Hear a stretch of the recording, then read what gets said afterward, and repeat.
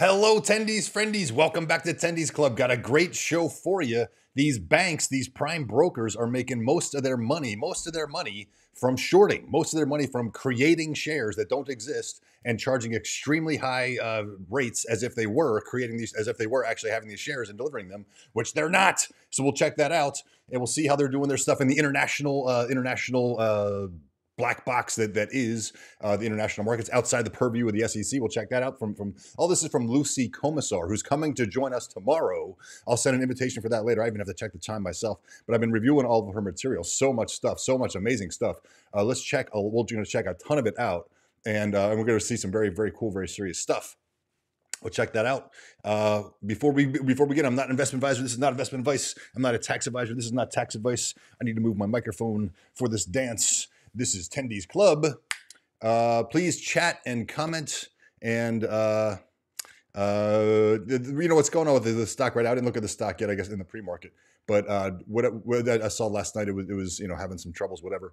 Uh, but that's what they're doing right now to the stock is they're just creating shares. We'll see how they're doing it. We'll see how they're doing it. We'll see how they're doing it. It's a bunch of bunch of bunch of bunch of nonsense.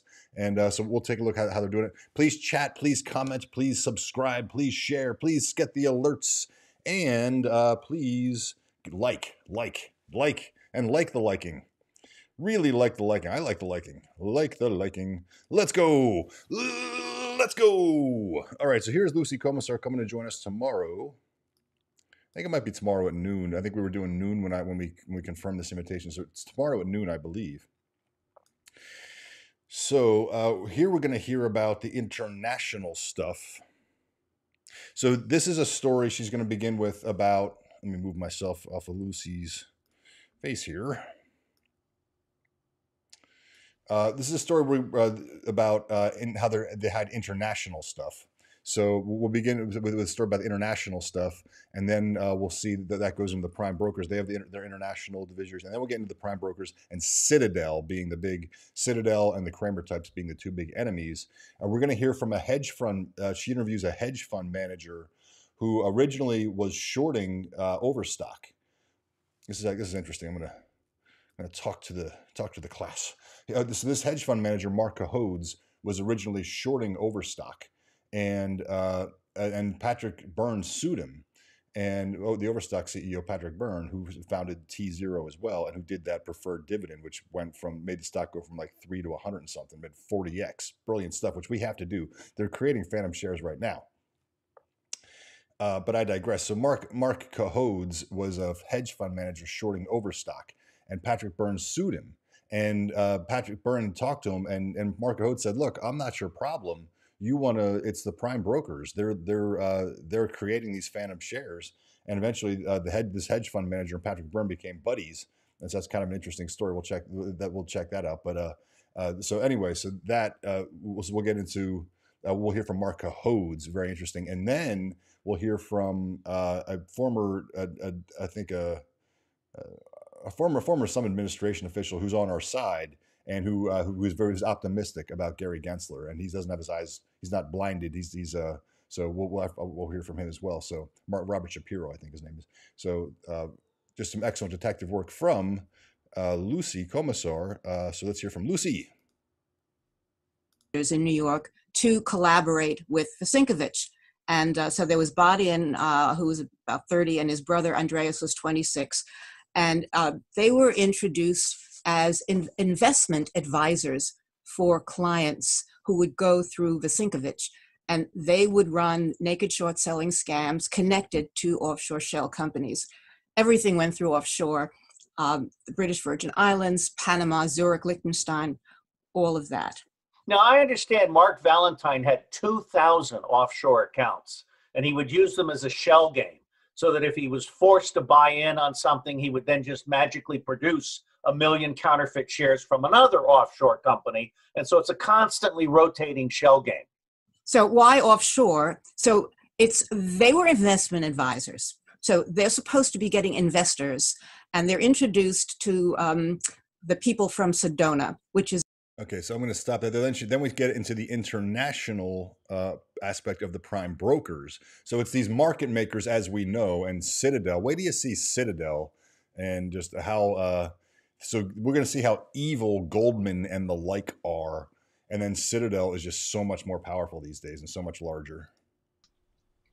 These uh, big brokers and hedge funds all have uh, subsidiaries in many, many countries, especially the banks have subsidiaries in many, and a lot of offshore subsidiaries. So you don't really know what's going on there, where they are moving shares, uh, where how they're dealing. But, sorry, I want to stick with so just so it's Citadel it's, making all these profits now, but how profitable is it?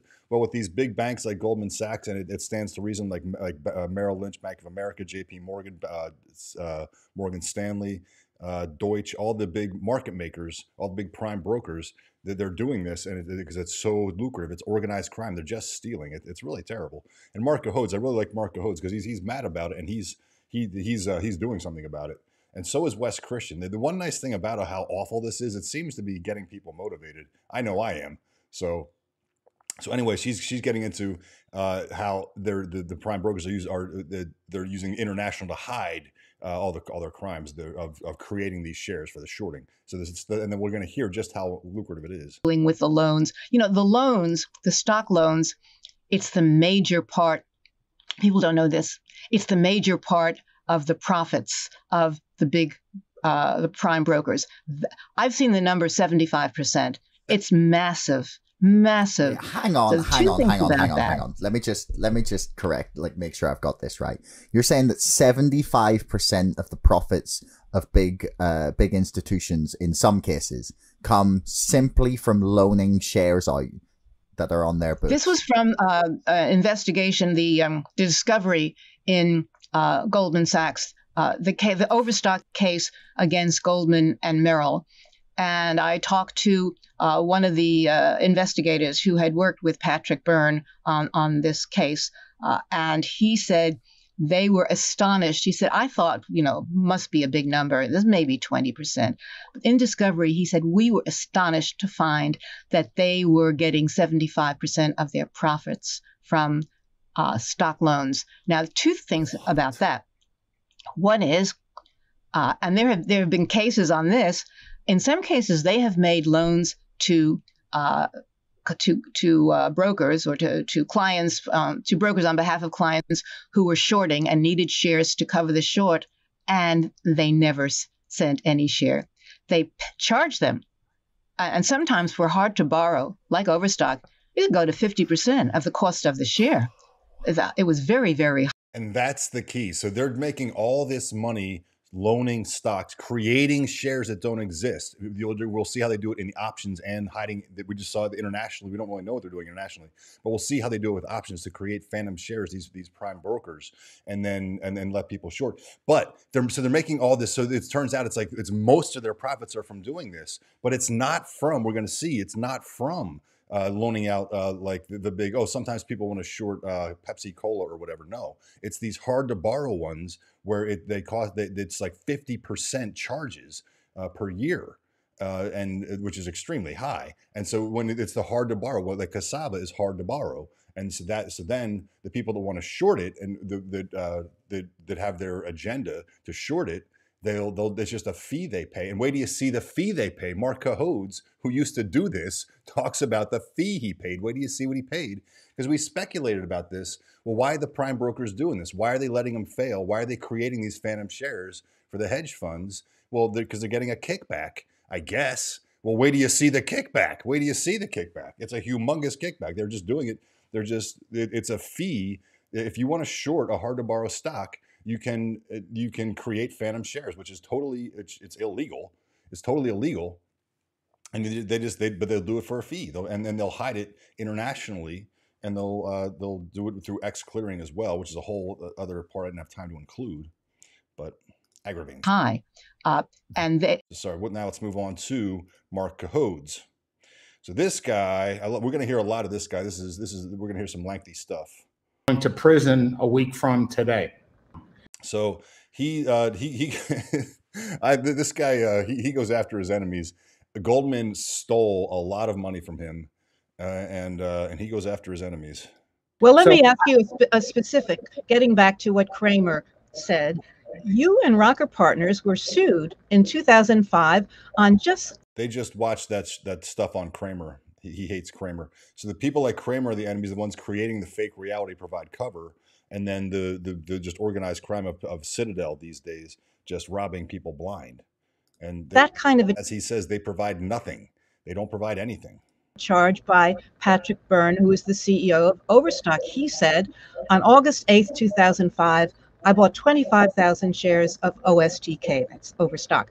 My broker was unable to settle the trade and said Morgan Stanley refused to deliver with, with statements to the effect that you have to understand this is a very hot stock. By hot, apparently they mean, uh, said, a stock in which cheating is being allowed. And he said 50 days after the trade, Morgan Stanley finally delivered. Now, four days after the fail to deliver, he files suit against Gradient Analytics, Rocker Partners, David Rocker, and you. He said Rocker Partners work with Gradient, a research firm, to manipulate Overstock shares. He said journalists were involved, and the whole scheme was being orchestrated by a master criminal he called the Sith Lord, but declined to identify. Was the charge true?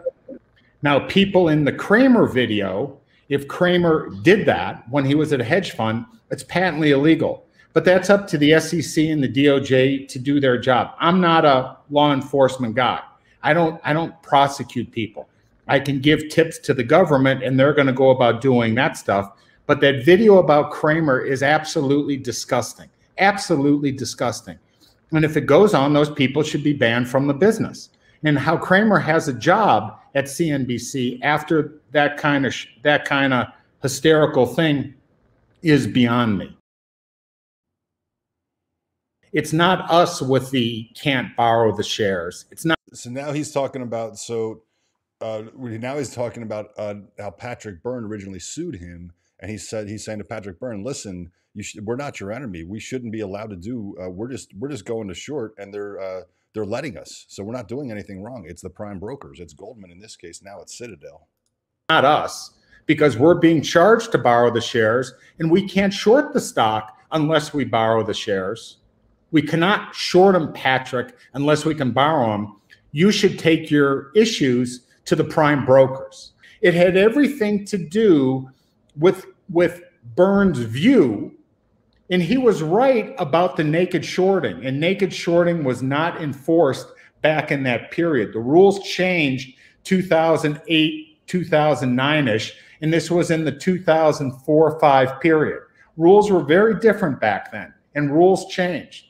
But Byrne at least had the common sense to listen to me. And instead of going for the hedge funds, he went after the prime brokers. He went after the prime brokers and he sued Goldman and Merrill and Morgan and all these guys. And it was basically because I told him what was really going on. Mm-hmm. So, So he, he filed a suit, just as you said, in 2007 against Goldman and 11 other prime brokers, alleging massive illegal stock market manipulation. The case would go on for eight years, wasn't settled till uh, 2015, and you would play an important role in it, giving testimony in uh, 2011. So let's look at your connection, talk about your connection to Goldman. You have said your fund had paid Goldman $100 million over the years to borrow shares. Uh, why did Copper River rely on Goldman to handle short sales, including Overstock, rather than perhaps some other broker? Well, those are really good questions. You have your numbers wrong. We didn't pay Goldman 100 million over the years. We paid Goldman 100 million a year. A hundred million a year. This is just one hedge fund. They were paying a hundred million a year as a fee to create shares, so they could. So their the, the, your your share count is whatever I say it is for a fee. That's all it is. We can, we can create as many shares, which is illegal. You can't do that. Ah, in some years to borrow the shares. Okay. And it used to be, it used to be in the real world that people's words were good and that people would not actually knowingly break the law for money to enable you to do your business. All Goldman had to say to us at any point in time is, we can't borrow those shares. They synthetically created shares they didn't have the shares borrowed in retrospect and they charged us huge fees we paid huge fees for a service that was never provided. And when the government changed the rules. Right. And then, so huge fees, a hundred million a year for a service that was never provided. 100 million a year. They're, they're simply, and I think he's going to talk now about the options, about how are they doing this. They simply look at what it costs to synthetically create uh, the, these shares in the options market, and then they charge them uh, more, and that's it. And then and then so, there's but they- they, can't. They're and then and they they're supposedly there's a, a share that's actually being shorted, delivered. You Well, never. paid them. And what, what makes you think that that's the case? Well, I know I know it's the case. How? I know I know it's the case because post fact, after I did the deposition for Overstock and Goldman, and Byrne, you know, prevailed eventually, he sent my lawyer uh, information and emails from Goldman where were specifically mentioned where they admit they didn't have the shares borrowed. They they they admit to everything, which is why Overstock ended up prevailing against Goldman. They they admitted to not having the shares borrowed, and we were mentioned by name. In- Well, in the time of 08, when Goldman was doing this to you, um, Okay. Then I think maybe now he talks about the options. Not sure. Talks about a bunch of stuff. so whoever is out there watching this, or whoever Okay, so parental advisor here. This guy talked explicit language. This guy uses a. I know there's some kids that watch the show, which I think is so awesome. uh, but this guy uses some foul language, which we don't we don't condone. But this is an important message. So this is this is an important message. for listens to what whoever is out there watching this or whoever listens to what I have to say, listen to this carefully. Your brokerage firm does not give a rat's fucking ass about you. Robinhood could care less about you. None of these brokerage firms could care about you. They've all paid significant fines. Citadel's paid huge fines. Robinhood's paid fines. All these guys have paid fines.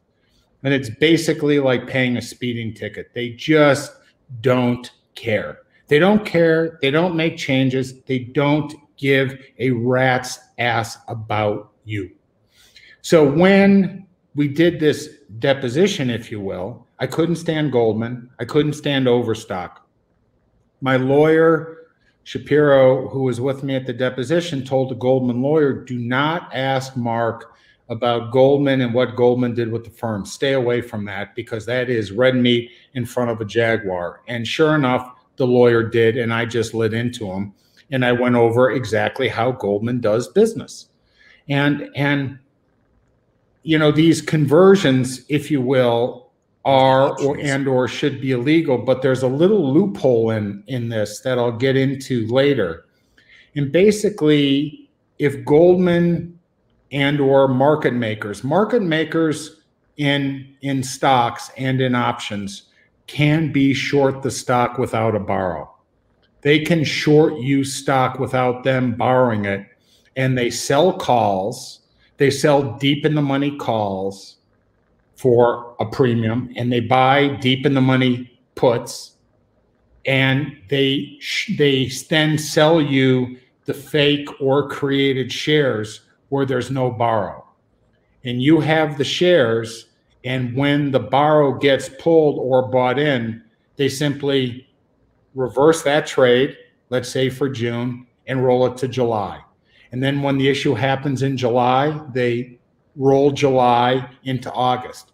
So they keep rolling this trade as long as the customer wants it without ever having to deliver the shares. Now there's a loophole that says market makers do not need to borrow shares to keep in quotes air quote a fair and orderly market and this is where the so-called naked shorting or shorting without a borrow comes from. Citadel if they're a market maker in this day and age can be short all the pick the name you want. And they don't need a borrow and they don't need to pay the borrow fees because if asked they're maintaining a fair and orderly market. So market makers can legally, and this is the irony of this whole thing, can legally be naked short a stock without a borrow because that is the law and that is the rule. Now, if people want to change the rule, that's a whole different thing. But everyone who's complaining about naked shorting in this day and age, whether it's GME or AMC or things like that, you need to look no further than the market makers. See, back back before the SEC changed the rule in 2008, 2009, whenever they were doing it, in, prior to then, you could do these option conversions and they weren't viewed per se as as illegal or as illegal as as a customer would look at it. So this is very technical stuff. This is done by the higher ups and computers and people who run these numbers and and the citadels of the world who make markets and options and who do this kind of stuff they're not breaking the law per se. They're not because they'll say they're maintaining a fair and orderly market. But one they're making an absolute fortune doing this. Two they don't have to pay the huge negative rebate uh, rebate fee that individuals or institutions pay for. And these guys are the true enemy, along with the Cramer types who who do what he did in the video you showed. So there's a lot, there's a huge misunderstanding out there about what really goes on. I mean, what really and truly goes on and how it goes on. And it's dirty as hell. And and and it needs to stop. But I all right. So that's a ton of stuff. We're going to hear some more.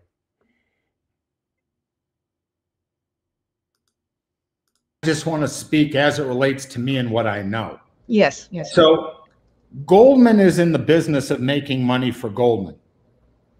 Robinhood's in the business of making money for Robinhood, and Citadel's in the business of making money for Ken Griffin, right? Goldman can loan out Procter and Gamble, Goldman can loan out Philip Morris, Goldman can loan out IBM, and they make two or three basis points.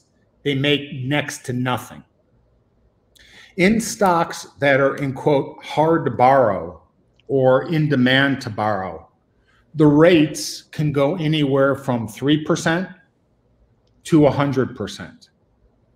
And, and depending on Goldman's cost of creating the share. That's not counterfeiting, that's creating the shares, creating. They figure out what it costs for them to create it in options, puts and calls, mm. create the shares to loan them to me. If it costs them 30% annually, they then go and charge me 45. So they make 15% on something that basically they didn't have to even pay me. So they make 40, they'd make 15%, but I would never get the share. I'm paying them 45, assuming I have legitimate shares, right? I'm paying them 45, assuming that they're paying you 42 to lend me the shares, right? Mm-hmm. Legitimately doing it. Because if I knew what was going on, I would have never have done it. No one in their right mind would have ever done it. I didn't know that. And the reason I know it is Byrne's lawyers sent my lawyers internal emails from Goldman that came out in discovery where Goldman admitted to what they were doing, admitted to how they figured out the numbers, admitted that this was was what they were doing. So when the government pulls out the rug from under Goldman and said you have to settle in 3 days, Goldman says, we're either going to choke on it or we might as well put Cohodes and crew out of business or put them in such a way where they can't fight back. So they cost them nine figures. They, they, they basically Goldman basically, basically the idea there is they steal from their own clients. He was a client of Goldman's, and when times got tough in the financial crisis, uh, they they intentionally uh, try to make do everything to make him fail. When, when he's saying all my money at my other brokerages, and my money, the, my money other places, we were up like 100%. It's like our best year. But here, like Goldman intentionally kept working against us to make us fail. And so they cost him like nine figures. He hates Goldman Sachs. So we're going to talk, uh, but really, they're just a, they're just not nearly as big anywhere near. They got basically destroyed, and they're not nearly as big as uh, Citadel now. So we'll check that out. But as Wayne points out, SAVA is ripping, I guess, which I really hope. But I guess the market's not open. Let's see when the pre-market are they up. Oh, said we were ripping. I don't know, but whatever's happened in the pre-market, whatever. Let's go back to, and so now we're going to see.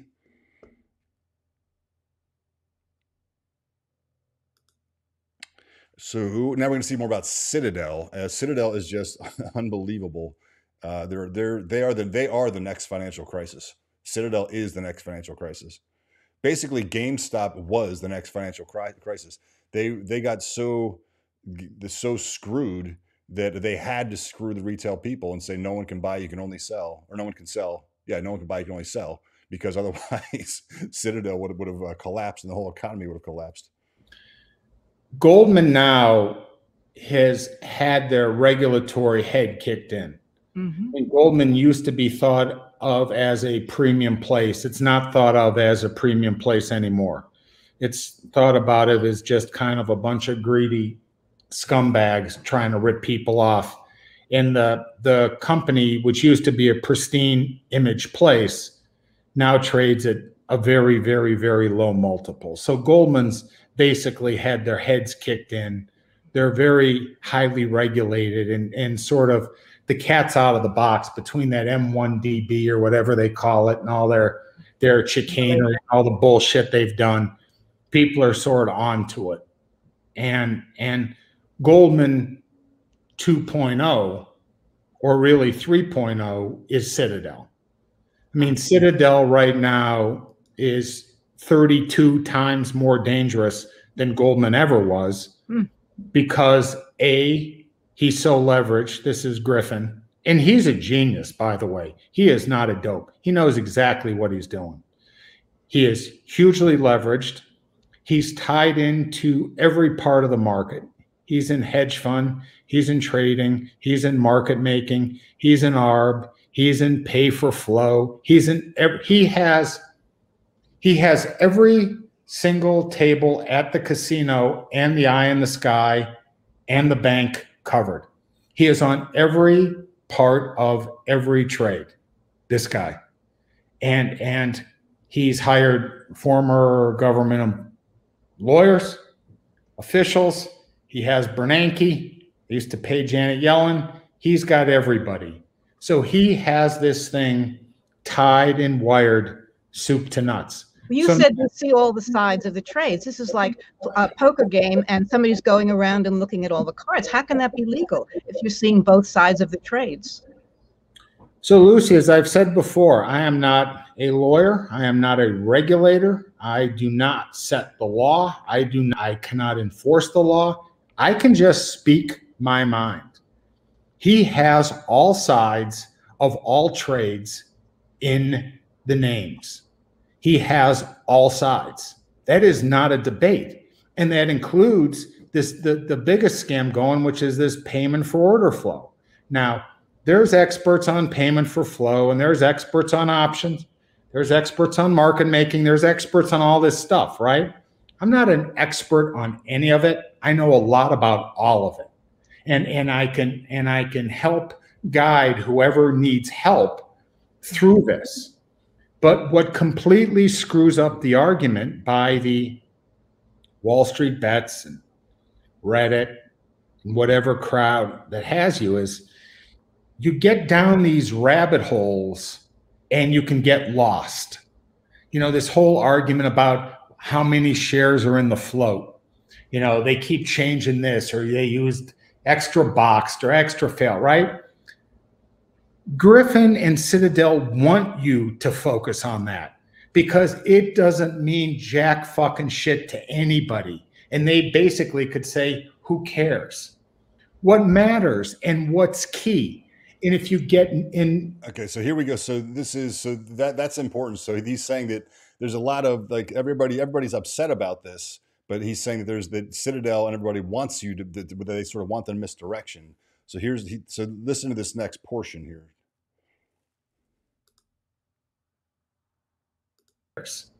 What matters and what's key. And if you get in, those who are listening to this, and I hope a lot of people do, if you get nothing out of this, I want you to listen to what I'm about to say. Okay? When Robinhood and the long haired guy who runs it, what's his name? That Vlad? the greasy guy. Yeah, Vlad.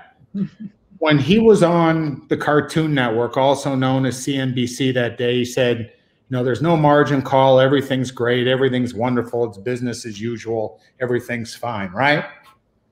to then find out hours later that Robinhood had a what a three billion dollar margin call, something like that. They had a two billion, three billion something with DTCC where they needed to raise money on an urgent basis overnight through the VC guys. I think that's sort of the timeline. What everyone should ask themselves is why did Citadel give Melvin money, mm-hmm. right? as a bailout because Melvin was about to go under. Why did Citadel give a billion or two billion or whatever they gave Melvin? Why didn't they just give it to Robinhood? Robinhood's their customer. Robinhood is their guy who they play the payment for flow game. If I'm if you and I, right, are as tight as tight can be, and you have a $3 billion margin call, you call me up and say, Hey, Marc, we do all this business. Can you loan me $3 billion for a week? Sure, Lucy. What's it going to cost you? I'll give you 10% of my firm, right? I'll give you 10% and I'll pay interest. I'll say, no problem. I'll wire that you'll have the money in 4.7 seconds as soon as I hit the return key, right? Why would Ken Griffin not have given Robinhood money? Why did they give it to Melvin, who had the absolute wrong side of the trade as everyone from Robinhood? Why? I've never I've never heard anyone bring it up. I've never heard anyone ask the question. I would li- I would like to get the greasy haired guy Vlad, Griffin, Warren, Senator Warren, Gensler, head of the SEC, all in a room, all in the room, Melvin in the room, and I'll do the asking of the questions. I'll ask everyone the questions. I'll create the timeline, and everyone can sit there and take notes and that way we can get to the truth. What would your answer be? Why why why did they do that? Why did they Uh, because I, I, I think Citadel was so upside down in the GameStop, AMC, whatever MEME stock trades that that given their leverage, they would have gone under. They would have gone under had this Melvin thing gone another day or so. Because there's no reason that a sane person without lying could say, why would Robinhood stop one side of the trades that day? Because what Robinhood did was they completely and utterly destroyed their clients. They completely, when you mm-hmm. close one side of the market, the other side of the market, the downside of the market is a huge winner. If you have all buyers and no sellers, stock goes through the roof. When you have all sellers and no buyers, the stock collapses. And in all my years, I'm 61 years old. I've been doing this since I was 16 years old. I've never, ever, ever seen unilaterally one side of a market closed in a, in a normal period. Now, I've seen the markets closed for 9 11. I've seen markets closed on panics. I've seen markets closed on margin. I've seen I've seen markets markets closed for all sorts of reasons. They did E Trade did this to me with Tonix Pharmaceuticals. Tonix, one of my tattoos uh, they used to E Trade. Used to uh, they they they would uh, only allow selling, and uh, you'd have to call E Trade to buy. And I and I would call them and yell them like, "What the heck?" And uh, they'd say, "Oh yeah, it's on a list. It's like extra risky. We're we're helping you." And I'm like, "You got to be kidding me." With so it was happened. It happened happened to me before with the, these with these. With, it was it was happening before this with the big uh, with Citadel with the big easy to see thing. I've never seen one side of a group of stocks closed for a period of time, given the incremental stress that was being built in. And all the excuses around it are nothing but lies, are nothing but lies. And all these guys do at the end of the day, you know, Robinhood pays this fine, Citadel pays that fine, this guy pays this fine. It's nothing for them. It is lunch money. I mean, Ken Griffin is one of the richest guys in in in the country. So Citadel didn't need to give liquidity to the, the prime broker or the or to the, the for order flow whatever. Uh, to, the, to, the, to the brokerage. Uh, they needed the one side of the trade to to to stop losing so much because they were on it and they were there. So they just they just forced the market. They just forced winners. They uh, they forced they forced the, the, the side that was right to lose, the retail side, because they didn't have the, the power. They, that's this kind of control that they have, uh, Citadel. So, which is why we need the blockchain because you just can't do that crap on the blockchain. So, so good. So, a couple of some good things about all this. What we're going is there's this is all aggravating stuff, but with they let let people get out over their skis and do this, and then issue that preferred share dividend, and it will it'll blow them up. There's there, that's that's why eventually Byrne said, "I'm not going to get help through the through the system," uh, and so issue that issue that. Dividend. He doesn't bring any good to society. He doesn't help people eat. He doesn't produce anything for any good other than to feather him and his employees' pockets by ripping off others. Did, Just, uh, did Citadel's behavior carry a financial risk to the market and to society? Yeah, I think I think in the next market collapse, and it could have happened in the prior market collapse in 08, Citadel, Citadel, every market collapse is the too big to fail guy. I mean, they're I, I think Citadel is Bank of America's largest customer in the world. I'd love for to see someone prove me wrong on that one. I think they're at least in the top three, but I think they're the largest. They, they do more business with the big banks and the government than anyone on the planet. And they're so big and they're too big to fail, and no one wants to shake the apple cart that they just let it go on. And and the irony is the people who get screwed every time through the test of time is who I call Joe Sixpack the mm-hmm. the Robinhood guys, the it'll be the Wall Street bet guys, people like that, because they get done in by the people with the power, with the connections, with the clout, people who break the rules and laws, and they know they're not going to jail. They know they're not going to jail. They just pay a fine and they just keep on going. Now, another one of the, the big boys that was involved here was Steve Cohen, Point 72, what what role did he play? And by the way, uh, let's go back to the Sith Lord that uh, Patrick Byrne said was involved in. These are uh, all names involved in, in, in, in promoting and naked shorting his his company years ago. And then I heard is that was Steve Cohen the Sith Lord? You said you found out about who it was. hmm So first, you asked me about SAC. We got to do this. You're asking me these compounded questions. Yes. I'm not a fan of his at all. Um, he's paid a billion dollars to the government for things he said he never did. He owns the New York Mets. I can't stand him. I can't stand how he operates, but he's he is what he is, and and maybe one day karma catches his number. But he is not. He is not. I am not a fan. Not a fan. Never been a fan. So, as a postscript, Byrne and I ended up becoming pals and I ended up buying Overstock, and I still own a lot of Overstock, and the stock's done really well. And and to know Patrick, the most interesting person I've ever known, and I know some interesting people. He's a fascinating person. He is beyond he is beyond brilliant. Um, he suffers hugely from from he's way out on the spectrum.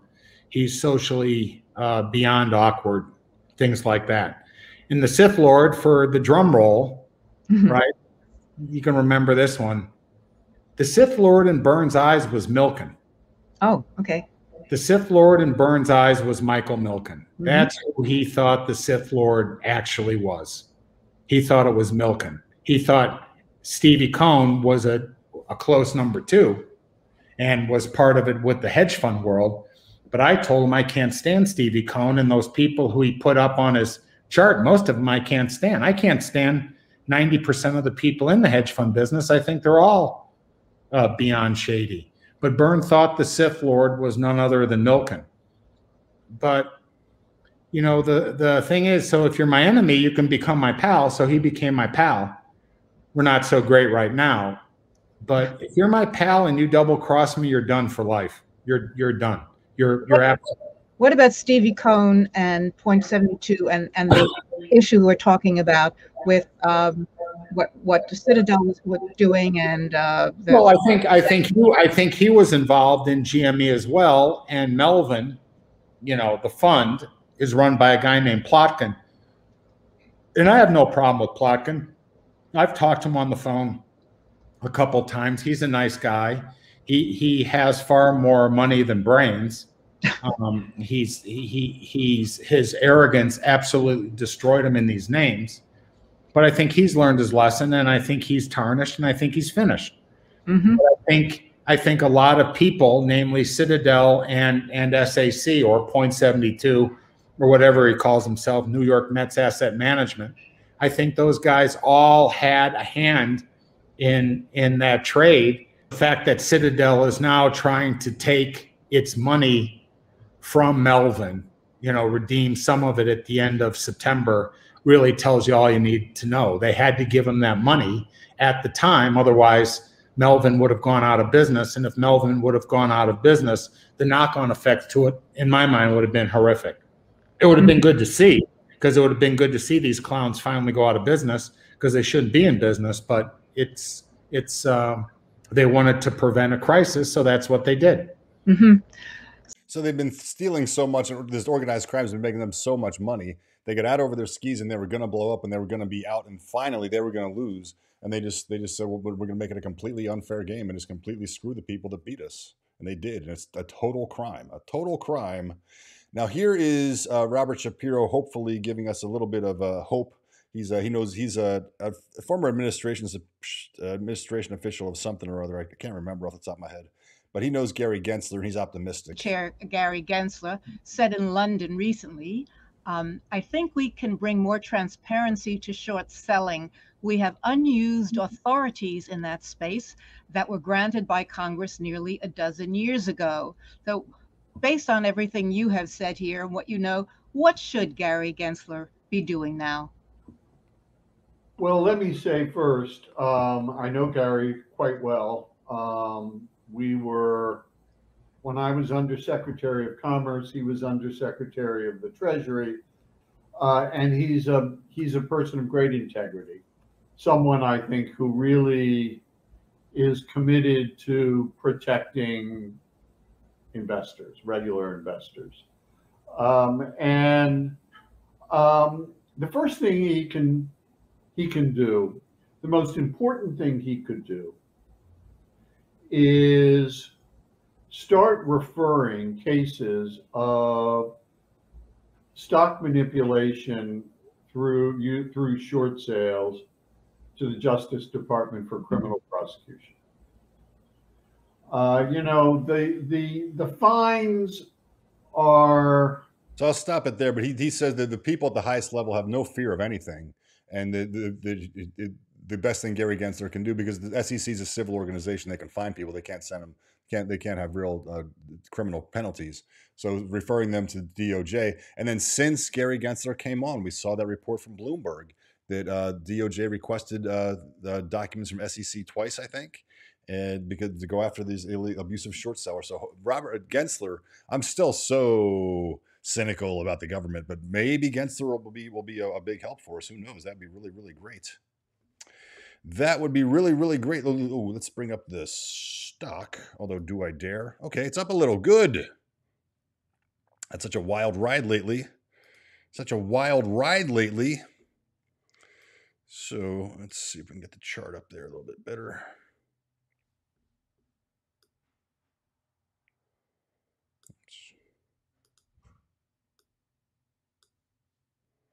that is the whole chart. Okay. And with that, and with that, my tendies friendies, let's go to the phones. Remember, uh, Lucy Komisar will be here tomorrow, so uh, I'm gonna. She's pretty excited.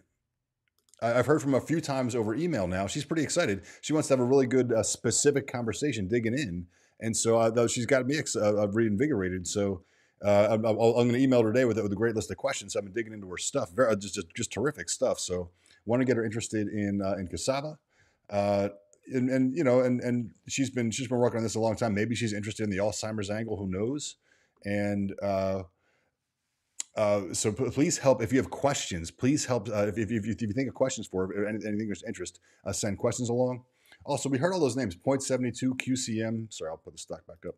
QCM, Point seventy two. Uh, uh, Citadel, uh, Stevie Cohen, SAC, uh, New York Mets, whatever they call it. He said. Uh, so that, that was just very that was just really, really interesting. So I, I so we, those are that just plays into Sava. So it'll be it'll there's just all these natural ways. It seems like Sava's right at the center of everything that's happening now. So pretty obvious to us. Bernard, great to see you, my friend. How do you know that uh, banks make 75% off of shorting? Uh, Lucy said it was from Discovery from the Goldman Sachs case. Steve, uh, we need for Remi to go on the offensive. Enough is enough. Why is he passive? I'm thinking we need to do that, that preferred share dividend. That's something we can do. But Patrick Byrne eventually just said, you know what, I'm going to do this myself. And it worked uh, uh, beautifully. Perhaps Remi is joining the party via third party we need Bernie Sanders on our side. I bet he's a fight we'll, we'll gladly take on. I hope so. Uh, all is forever crooked. Yeah, the blockchain is not though. So it's, it's this stuff is so crooked, but the blockchain's not. So maybe it's so bad it'll drive people to the blockchain. 2022, what a surprise. Eldar, okay.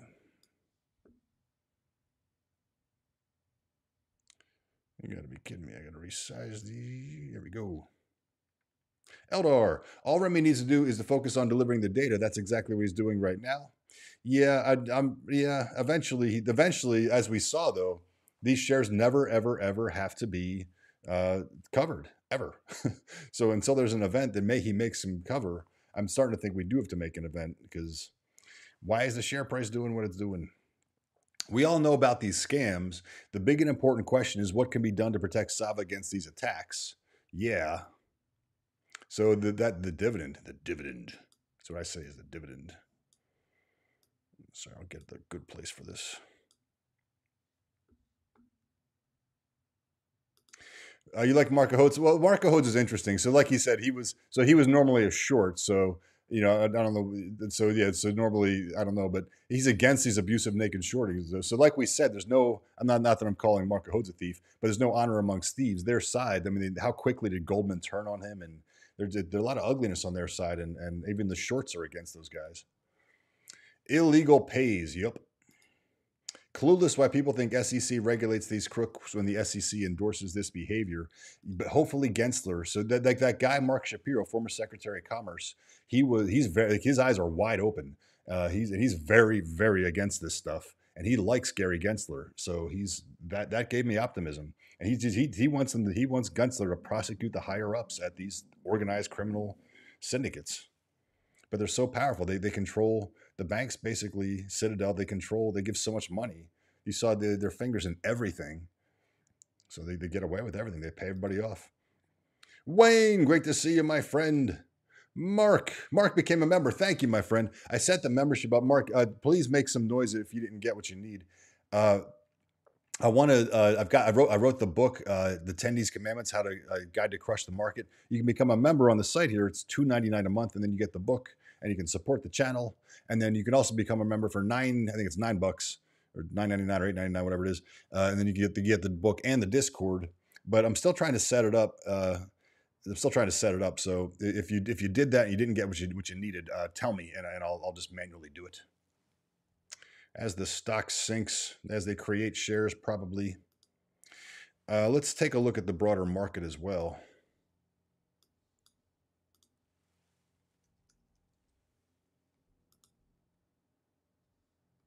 Oh gosh, on, a, on an up day.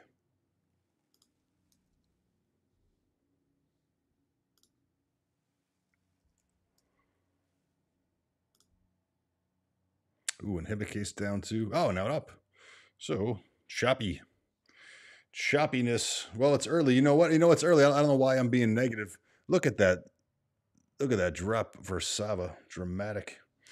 But as we've seen, dramatic drops in the in the first 30 minutes or sometimes lead the buying. We have those options expiring tomorrow, though. We'll see what happens. We have those options expiring tomorrow. We'll see what happens. insider trading, nothing to see for yeah Pelosi and and and the yeah. Tell us what you really think. Yeah, Sandy, I hope Remi knows what he's dealing with. Total corruption. Issue the preferred stock. Sandy, I'm completely with you. It will. I think right now we're being phantom shares being created because those options they don't want them to expire in the money. Frankly, I don't know what's going to happen between now and tomorrow at four. We'll see what happens in general. But tomorrow at 3:59 could be like an incredible time to buy. Maybe I don't know. Hi, Joe. So, what makes us think that the same would not happen with Sava? That is when the sheet hits the fan. They don't shut off buying and let only selling happen.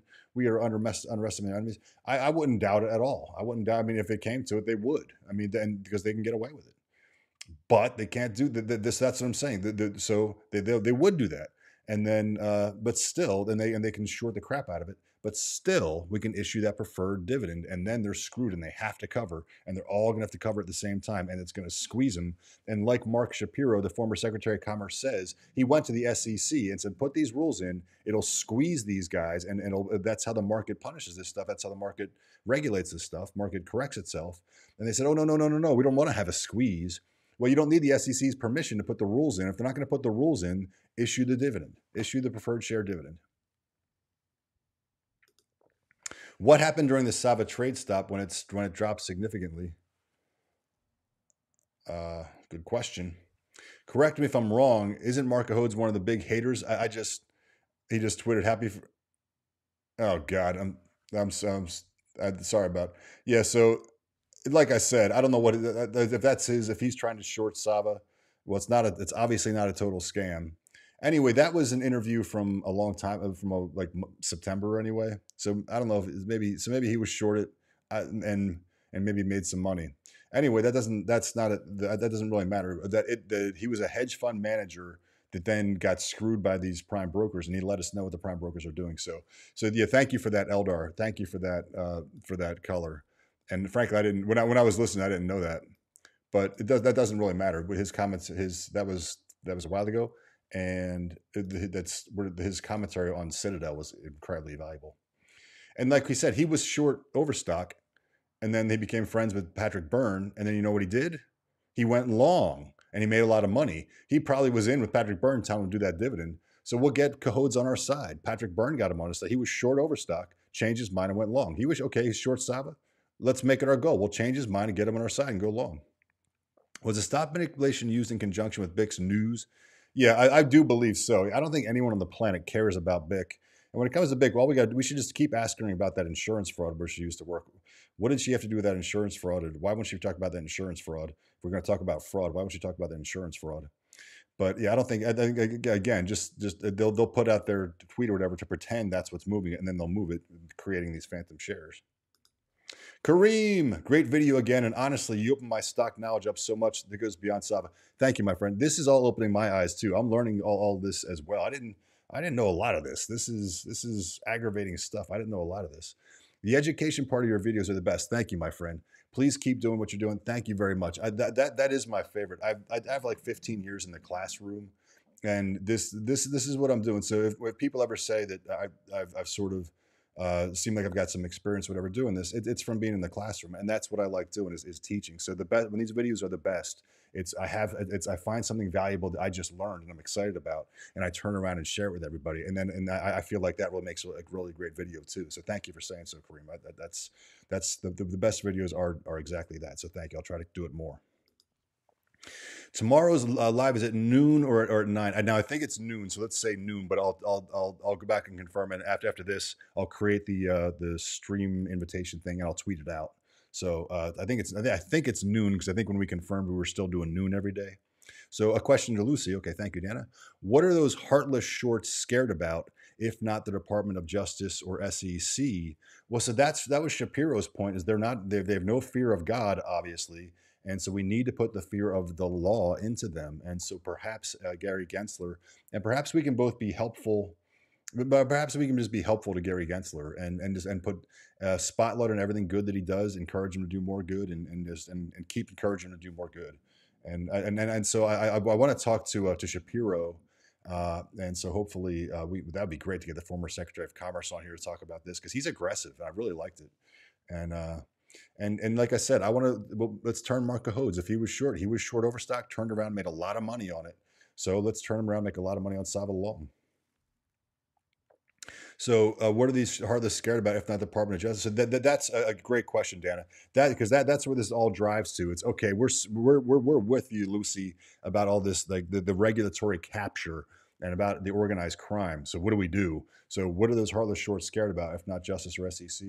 So, good question. Now, I think the preferred dividend is also a, a, an answer there. We can issue that preferred dividend, and they have they'll have to cover because those phantom shares uh, are all going to everybody that bought a phantom share is going to say where's my preferred shares that don't exist and so they're, they're going to say uh-oh these preferred shares don't exist these these shares don't exist so when the preferred shares that are on the blockchain that we can't fake when it's time to create those which we can't fake with this phantom options crap they're not going to be able to, to come up with preferred shares therefore they're going to have to cover before the preferred shares are, are issued so when when Cassava announces here's the X dividend date for a preferred share dividend.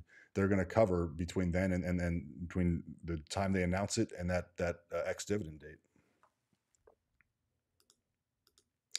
Gensler's not going to do anything. Remi will have to take action. Let's do let's do two pronged attack. Let's let's try let's try to get uh, help get help from Gary Gensler, and let's uh, let's try to get uh, Remi to just take matters into his own hands.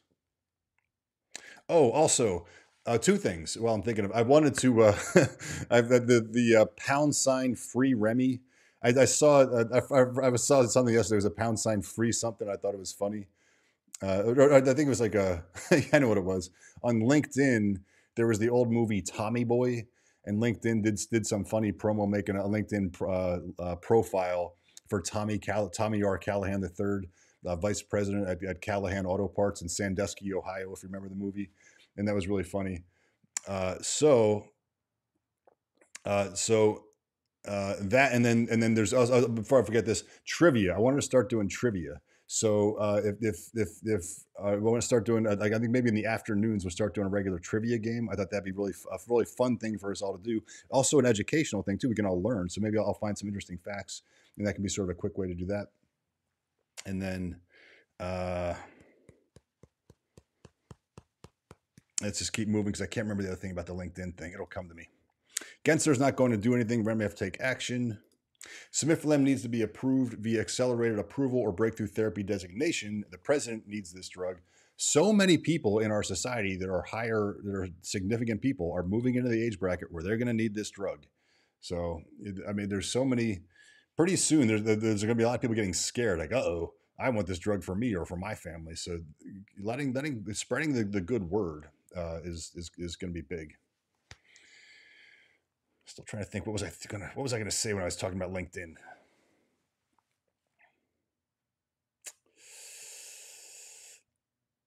Oh, oh, free Remi, free Remi, free Remi. So, uh, and on that LinkedIn, when LinkedIn did that, they did free Tommy Boy. It was the hashtag. I thought that was funny.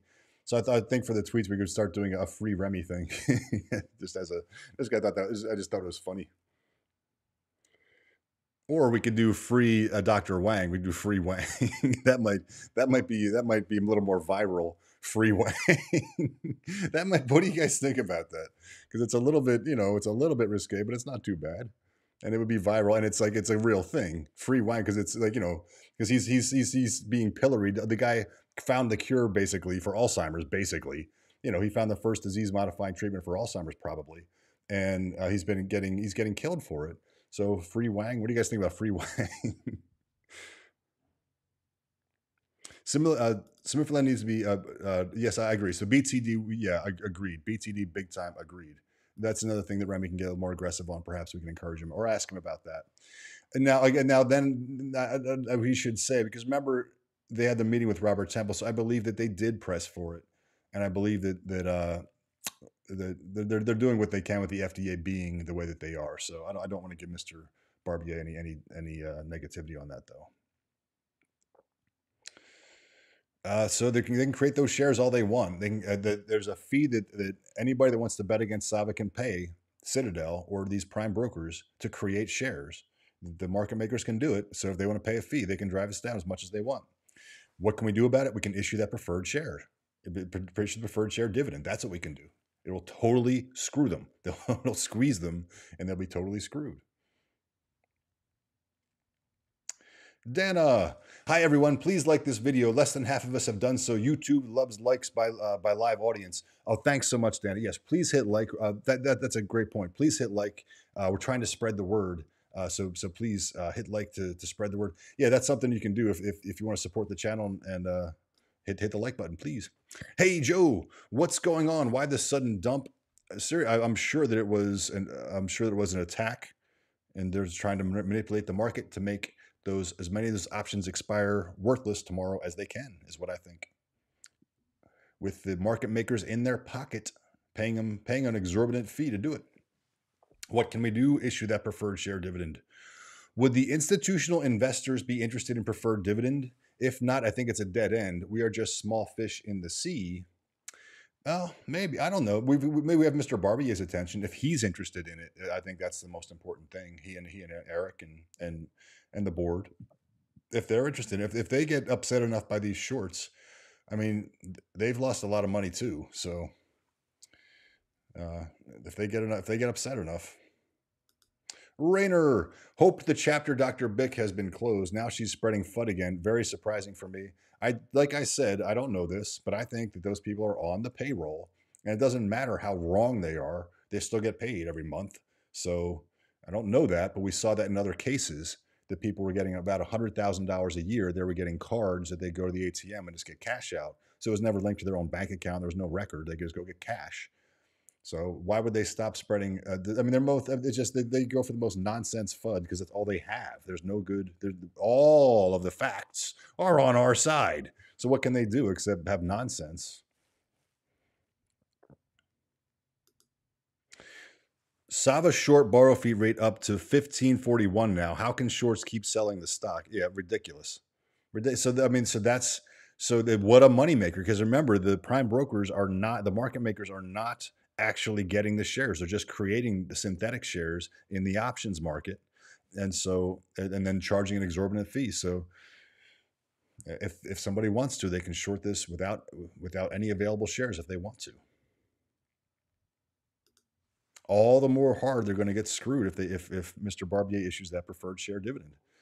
Price wise, we're getting tight team, not available to short on Webull anymore. Was charging 20% yesterday. It means they can't get any 20%. So 15%, 20%, and now you can't even get it. And then we know these market makers will, will just create them anyway. It means they can't get any. At least that's what I was told last time I got short. regardless of what the shorts do, they can't change the peer reviewed data or the phase three results. True, but it, and so uh, from that respect, that's true. Although they can try to interfere with the trials, which they will, they've already interfered with data once. So, and they're trying to stop the trials now. So, they're actually trying to they're trying to stop data from being created, and after it is created, they're trying to change the analysis of it. So, which they've already done. So, There's really nothing they won't do, as we've seen. But so free Wang, I'll start putting. We got nobody. Uh, nobody. So Dr. Wang is is you know on in line to get the Nobel Prize, uh, and uh, he's he's coming under attack. So when we tweet about stuff like that, a, a, hashtag of free Wang could get some attention, perhaps. No, I mean that's a low hanging fruit, right? I mean, it's it's right there for the taking. Yes. No one, no one has an opinion. I thought that would be. I must not know YouTube. I must not know my audience at all. My audience must be highly intellectual and not nearly as uh, uh, juvenile in their sense of humor as myself.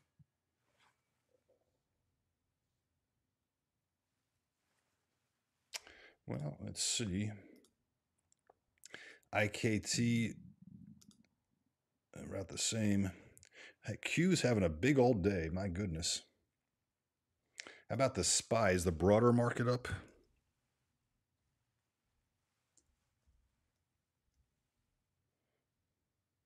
Webull drives me crazy. If I type too fast, I type spy too fast, I type SPY, I see it say SP, and then the P goes away and it changes the P to a Y. I've never seen a never seen a program do that before.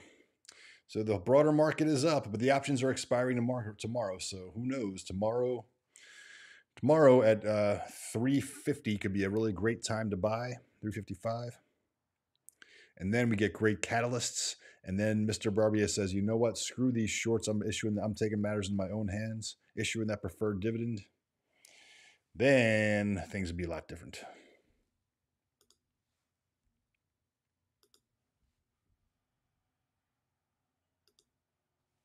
I hate to say that because Sava ain't a meme stock, but you need Wall Street bets. Yeah, that's the other thing about this channel is people say, don't stop your nonsense, which I see on one hand. Uh, but it's like it's it's a fine line between trying to make people watch and having content. Sava, yeah, Sava could be the next GameStop with almost 40% short. And as we saw Wes Christian say, the reported short interest is, in his words, garbage. It's about 50 to 150% uh, higher on his in his average client. So we're not about 40% short interest. We're about 80% short interest, maybe higher.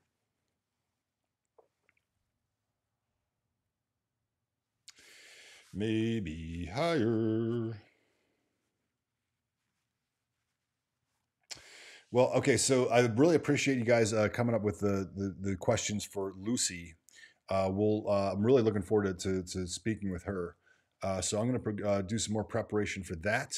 Let's hope the stock recovers, but options expire tomorrow, so we should get some.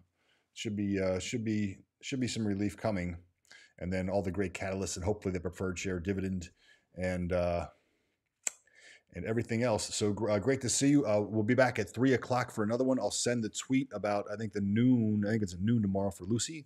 So I'll, I'll send that out, and I will see you guys then. So see you guys at three o'clock for another one. thanks a lot. See you then.